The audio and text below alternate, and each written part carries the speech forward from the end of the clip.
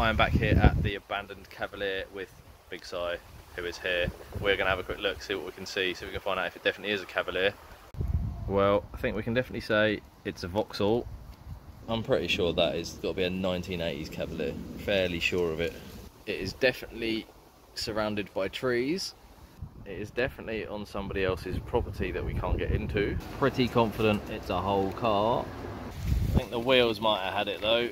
The registration plate is covered up by the gate. We can't work out exactly what that might be. So the investigations continue. We'll continue to try and get hold of the council, continue to try and get hold of the house owner, see what we can find out.